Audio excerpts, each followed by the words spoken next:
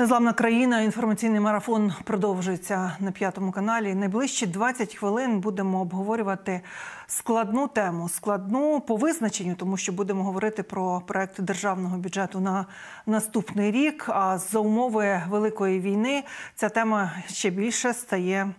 Е, тяжкою, отже, Віталій Гломакович, радник міністра фінансів України, засновник Гроуфорд Інститут. Доброго вечора. Дякую, що ви приєднуєтеся до нашої роботи треба розказати людям про державний бюджет України. Прем'єр-міністр назвав його бюджетом для перемоги, водночас зазначивши, що до ради подали консервативний середньопесимістичний розрахунок. Скажіть, будь ласка, за тих умов, в яких ми зараз живемо. У Верховній Раді є над чим сперечатися над проектом бюджету? Чи це максимум, що міг зробити уряд в цій ситуації? Добрий вечір. Ну, бюджет 2023 року був е, розрахований як помірно консервативний. Ви праві абсолютно.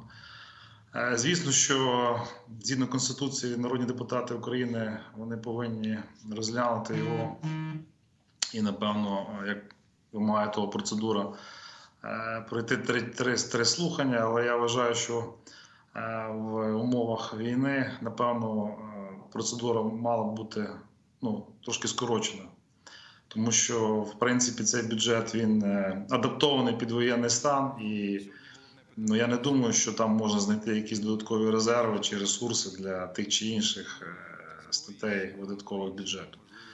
Е, тому ну, це помірно консервативний сценарій бюджету на 2023 рік. Ми не знаємо, ніхто цього не знає до кінця.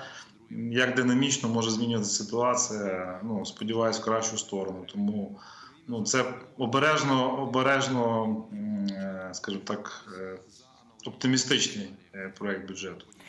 Я може... прочитала у журналістів дуже таке, знаєте, влучне влучну характеристику бюджету. Якщо взяти одну гривню, то 50 копійок з цієї гривні буде йти на війну. 35 копійок це буде соціалка, а 15 копійок це буде все інше, що потрібно для для держави. Чи вірний цей, е, цей приклад? Скажіть, будь ласка. Ну, ми виходимо з реалій сьогоднішнього дня. Якщо ми подивимося на поточну ситуацію у 2022 році, ми побачимо, що на покриття державних видатків е, Україна отримала близько 36% е, іноземного фінансування. Це у вигляді грантів або кредитів від наших е, країн-партнерів. Е, ми говоримо тільки про державу, тому що зараз ні про яке залучення на міжнародних ринках капіталу мова в принципі не може йти. 34% е, ми отримали для покриття наших видатків з податкової митниці, і ці в принципі відсотки зростають ну, порівняно з першими місяцями війни. І близько 30% ми отримали за рахунок зовнішніх запозичень. Я тут не схильний розділяти ці запозичення між тим, що купує Національний банк України, і тим, що купують інші якби, покупці облігацій уряду. І я вважаю, що в даній ситуації ну, це якби коректно, коли Національний банк України е, монетизує е, запозичення уряду. Е, в принципі, на наступний рік, як сказав міністр фінансів, якщо ми отримаємо 38 мільярдів доларів від наших партнерів у вигляді позик, е, грантів, то в принципі не передбачається купівля Національним банком е, державних облігацій або військових облігацій. Це дасть змогу зменшити той девальваційний тиск, який ну, відбувається тоді, коли центральні банки занадто багато друкують коштів. Е, тому це буде одним з факторів стабілізації, в тому числі і національної валюти України в наступному році. Звісно, що цифри, які закладені в цьому бюджеті, можуть дещо е, шокувати рядових українців в частині, наприклад, е, прогнозного курсу долара. Угу. Ну, на мій якби суб'єктивний погляд, я б такі дані би не публікував би під час воєнного стану, тому що свідомо закладати девальваційні очікування і чинити там тиск на національну валюту ну не варто в цій ситуації. Тому я все-таки більше залишаюсь е, оптимістом в цьому в цій в цій справі. В частині того, що я прогнозую, що рост курсу долара не досягне тої е, крайньої позначки, яка закладена на кінець 2023 року. 40, Все-таки- 42, правильно я, я знаю цифру, курс долара закладений. Чи, е, я, чи інша цифра у вас є? 42 це середньорічний, і можливо на кінець року Мінекономіки прогнозує е, там дещо вищий курс. Я Мгм. все-таки би не ну так би не лякав би рядових українців, тому що все-таки, якщо ми отримаємо цих 38 мільярдів доларів, про що є дуже велика ймовірність, то тих крайніх позначок курс не повинен досягнути, тому що ми фактично не будемо е, залучати емісійну гривню для покриття державних витрат в цьому випадку. Тобто така опція існує, але нею можна і не скористатися. Я почула вас так. Е, Доходи державного бюджету 1 трильйон е, 300 мільярдів, так? Е, Так, 279. 279 видатки 2 трильйони 513 е, мільярдів і 3 мільярди доларів дефіцит бюджету. Чому в доларах е, цей показник фіксується? Дефіцит бюджету складає ну, дещо більшу суму 20% ВВП. Це 1 трильйон 270, майже 280 мільярдів гривень. Угу. Про 3 мільярди це, напевно, ви маєте на увазі щомісячний Так, прогноз. так, щомісячний. Так, ну ми говоримо, як закладається в в проєкті бюджету е, ну, середньорічні цифри, е, тому ми можемо говорити, оперувати цифрами за рік. Тобто за рік це близько 1,3 трильйона гривень. Але знову ж таки, ну тут е, глядачі не повинні якби лякатися, тому що на кінець наступного року, 23-го, якщо навіть буде виконаний е, такий величезний об'єм видатків, ми його мусимо зробити, тому що ми мусимо профінансувати збройні сили і інші соціальні речі то е, державний борг буде становити близько 100% ВВП. Ну, є країни, в яких державний борг має 200% ВВП, наприклад, там ну, точно більше 100. Е, В умовах війни це не є якоюсь катастрофою. І, в принципі, те, як ми скорочували дуже активно в довоєнний час е, рівень державного боргу по відношенню до ВВП, йшли якби з випереджаючим графіком, то я вважаю, що після закінчення війни, після перемоги, е, уряд дуже швидко зможе е, якби, зменшувати цей дефіцит, е, верніше розмір державного боргу. Почула вас. Третина на соціалку. Скажіть, будь ласка, е, наскільки зараз держава може гарантувати соціальній сфері, що 2023 рік пройде більш-менш нормально за даних умов? Е, Держава не планує підвищувати мінімальну заробітну плату. Держава не планує в 2023 році. Маю на увазі. Тобто вона залишиться на рівні 6700 гривень. Не планує підвищувати мінімальний прожитковий, прожитковий рівень, там близько 2600 гривень. Е, Будуть проіндексовані пенсії з 1 грудня на там е, планову величину, тобто мінімальна пенсія буде складати там 2093 гривні, здається. І ця індексація пенсії вона буде продовжена і в і в наступному році, ну згідно якби, закону. Е, Стосовно середньої заробітної плати, цікавий момент, що вона повинна зрости з 14 тисяч гривень у 2022 році до 18 тисяч гривень у 2023 році. Тобто, все-таки зростання середньої реальної середньої заробітної плати передбачається на наступний рік. Звісно, що на рівні там інфляційних очікувань це недостатній ріст, але краще такий ріст, ніж ніякий ріст. Е, Щодо е, пенсій, субсидій і допомоги малозабезпеченим е, родинам, особливо субсидії і допомога малозабезпеченим в часи війни, наскільки ці статті будуть зберігатися? Ну, за- взагалі, в цілому, на пенсійне забезпечення та соціальний захист передбачено більше 400 мільярдів гривень. Я думаю, це якраз той рівень витрат, який собі може дозволити країна, воююча країна, е, і якби зберегти той рівень доходів е, низькозабезпечених е, якби, верст населення, які залишились в Україні. Ну, Не повинні забувати той факт, що ну, багато наших співгромадян, все-таки, в тому числі малозабезпечених, вони виїхали з України, тому ну, якби це не можна сказати, це якоюсь економією, але в принципі Ну, це якесь можливо полегшення для. Хоча ну це не, не знімає соціальні виплати для цих людей. Тобто вони, як і надалі, будуть користуватися соціальними виплатами, тобто їм і надалі будуть платити пенсії. Е, Держава також планує покрити дефіцит пенсійного фонду. Там більше 200 мільярдів з прямої бюджетної дотації. Ну, так як попередні роки, тобто нічого нового. Тобто, в принципі, цей бюджет є там консервативно збалансовано, називаємо його так. Тобто немає ніяких таких Я почула, я почула від вас е, які статті доходу, податки, митниця, зовнішня допомога 38 мільярдів. Так ви про це говорили?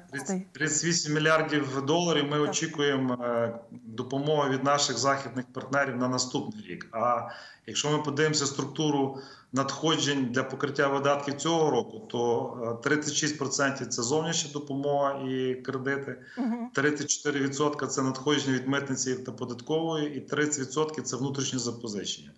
Причому наш державний борг е, в наступному році буде складатися приблизно 20 на 80 в користь е, зов- зовнішніх запозичень. Тобто у нас структура запозичень буде більше зовнішніх боргів, ніж внутрішніх. Я хочу зрозуміти, на чому е, економити будемо у 2023 році. Головна стаття економії, наскільки я зрозуміла, це зменшення видатків на органи державної влади. Невже це так суттєво? Можете в цифрах пояснити? Ну, якщо ми подивимося е, якби, різницю між е, обсягом фінансування різних державних інституцій е, за 2022 і проект бюджету на 2023 рік, то ми побачимо, що всі органи центральної влади, окрім силового блоку, вони передбачають зменшення обсягів державного фінансування. Всі практично міністерства. Тобто збільшення видатків для Міноборони на 37%.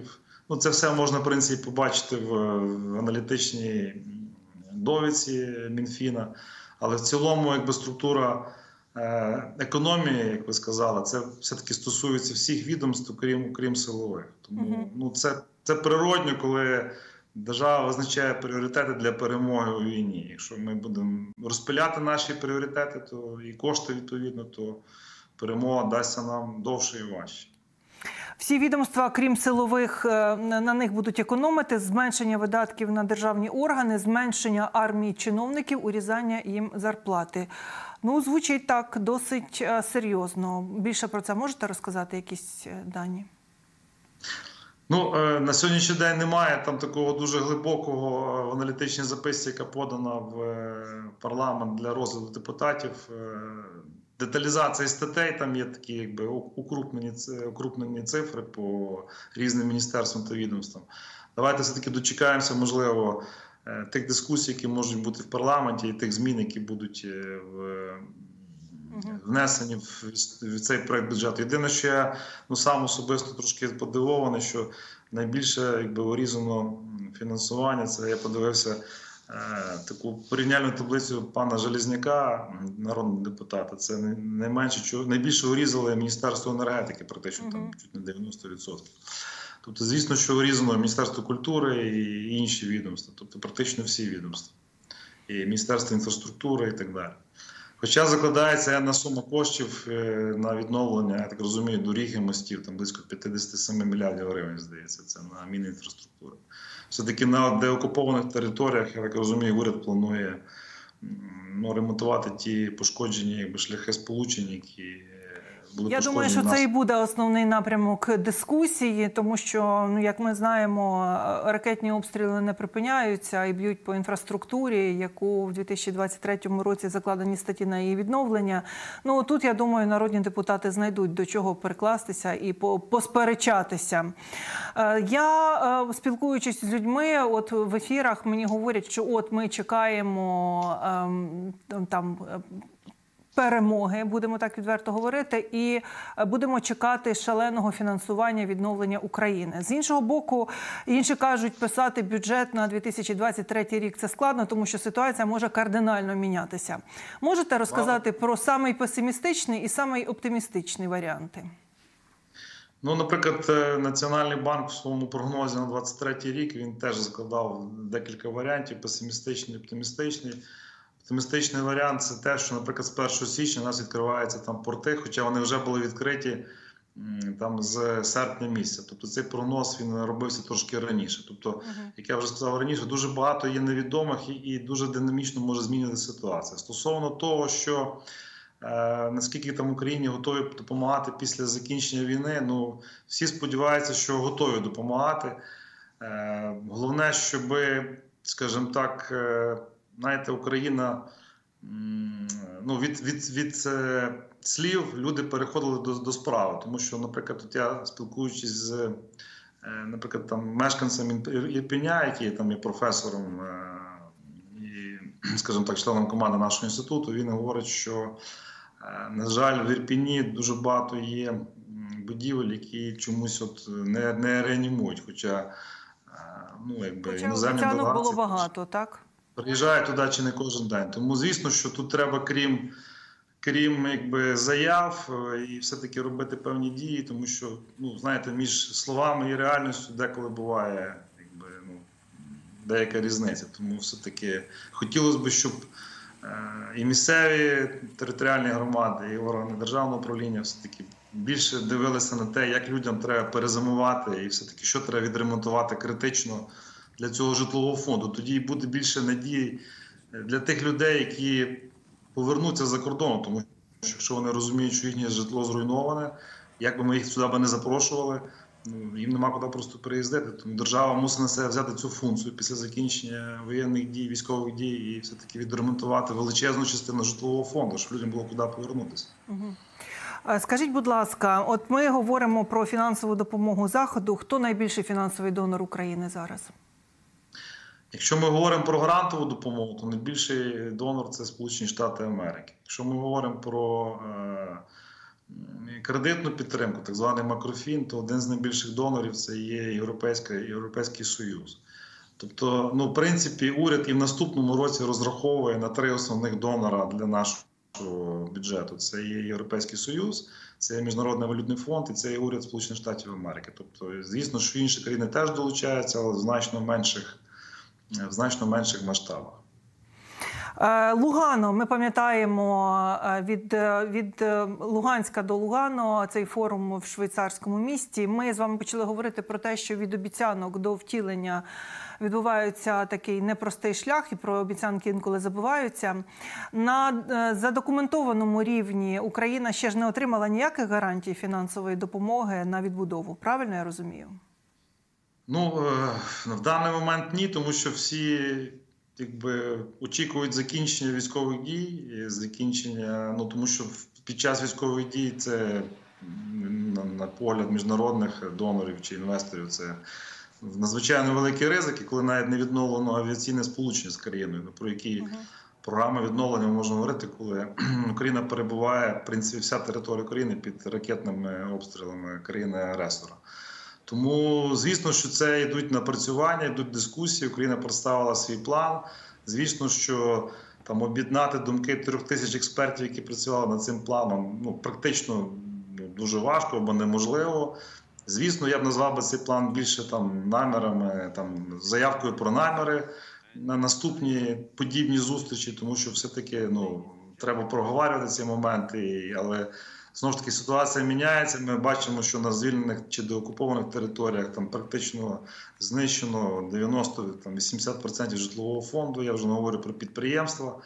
Ми розуміємо, що дуже багато підприємств знищено там на Харківщині, на інших в інших областях, які, наприклад, виробляли там той же вуглекислий газ, чому він виріс там практично в 10 разів, там з 300 гривень за балон до 3000 гривень за балон. Там, розроблений Гостомельський завод, який виробляв скловироби там з дуже досить потужним імпортним обладнанням. Тобто дуже багато таких речей, які є на мікрорівні, але які впливають на на макроситуацію. Тому тут, напевно, уряду треба зрозуміти, що нам ну, потрібно в першу чергу вкладати кошти. Наприклад, там на Україні немає там жодного заводу, який виробляє папір там банально, а четвертого формату. Напевно, презентери подумали. Там нема заводу, який виробляє там шкло там для для вікон. Да? А зараз це дуже актуальна тема, і ми розуміємо, що собівартість цього шкла вона шалена, і ми його завозили в основному з Росії, з Білорусі, поставки, яких припинились. Тобто треба робити таку домашню задачу для того, щоб закривати найнеобхідніші речі, щоб ми менше імпортували, а більше виробляли в майбутньому після війни. Тобто будувати вже економіку правильно, а не пострадянську. Там енергонеефективну і там, ну мовно кажучи, неконкурентну в світі. Ще одне Ну, питання на сам кінець. Я не знаю наскільки ви компетентні про це сказати, але я його поставлю. Був час, коли уряд казав, що на найнеобхідніші товари для людей може бути державне регулювання цін. Зараз на тлі е, зростання цін е, ця тема актуальна чи ні? Ну я би не радив уряду переходити на тотальне е, чи не навіть якесь часткове регулювання цін, тому що це в принципі ну може бути гірше ніж краще. Звісно, що є там товари, які критичні для населення. Якщо уряд розуміє, що з цих товарів є певний дефіцит, звісно, що він може регулювати, наприклад, експорт цих товарів.